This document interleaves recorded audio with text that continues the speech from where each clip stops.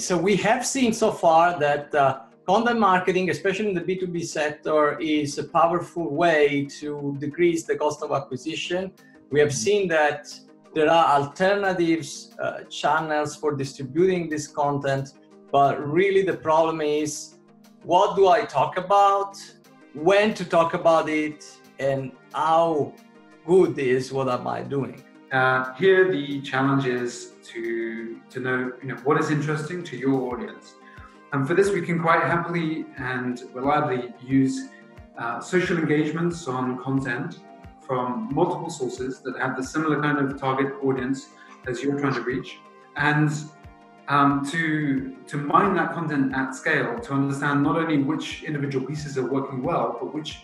which topics are working well across uh, across large quantities of content published recently. Um, so we can quite happily see by using the latest techniques in natural language processing uh, what topic or topics each piece of content is about, and we can correlate that against all of these uh, social engagement metrics. So by understanding the ones that are uh, performing um, relatively well compared to the amount that they've been written about or spoken about,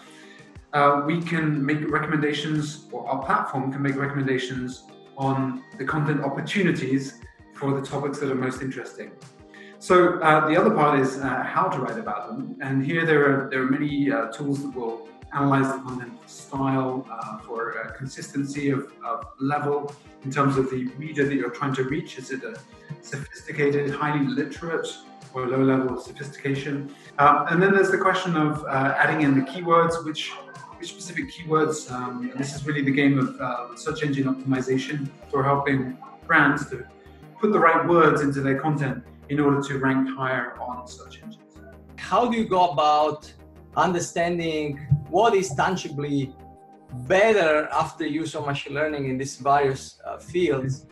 that you can say even to your customers these are the tangible measures uh, one is uh, time saved can we uh, automate some of the tasks that may uh, take too long or simply be unfeasible by humans? Uh, the second part related to that is just the amount of time it takes to get from starting that research process to finishing the research process. So, you know, if we were to think of a kind of computing analogy, if you could parallelize that with, with, with people and get the result back very fast so that you can act on that uh, on, on that uh, recommendation or the information presented to you, that would be a business advantage. Then, of course, there are page views on your website. You can think about uh, you know, repeat visits from the same customers, which topics they look at as they go through the um, buying journey. And then finally, giving customers the information they need at the, at the point where they've decided that they wanted to buy something of this kind.